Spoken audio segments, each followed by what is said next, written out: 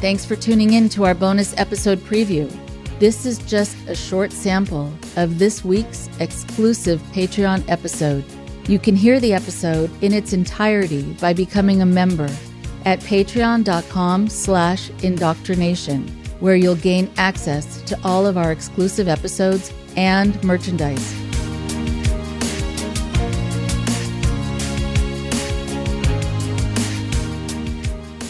Hi, everyone.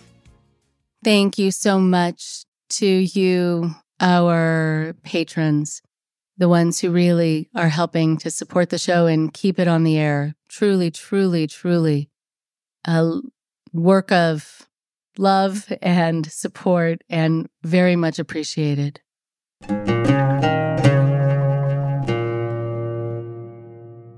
Today, I want to be able to talk about someone who has become a spiritual guru, a man named Jay Shetty, S H E T T Y.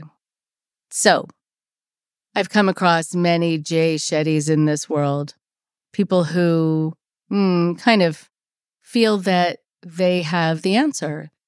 They are also able to package themselves in appealing ways, in ways where people believe them, they craft a story around themselves, kind of a mystical story, a mystique.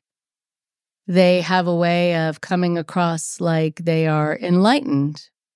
They are self actualized, whatever that means, and that they have the answer for you.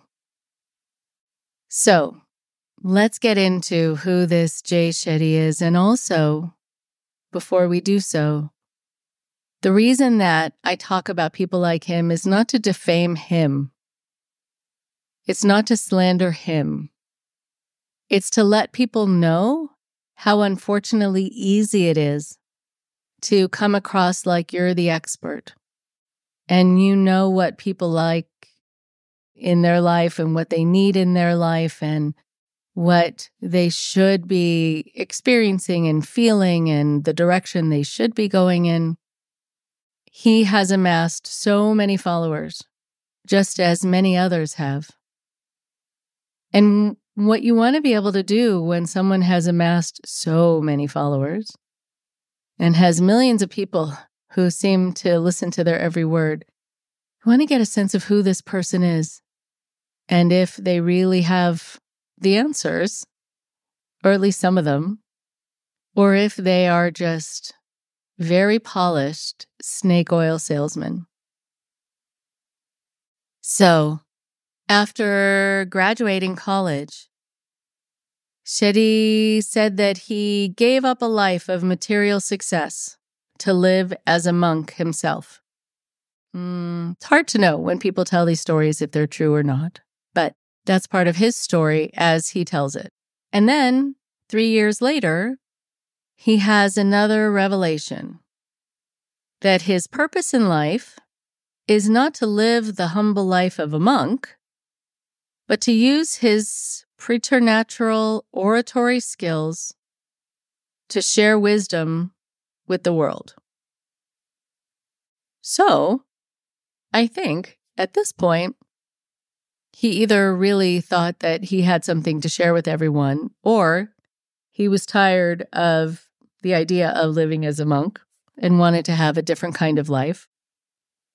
Either way, again, we're not sure the monk part of the story is even true, but again, either way, he made a big shift. And he then transformed into being a public self help personality. And he had a very swift rise to fame and swift rise to fortune.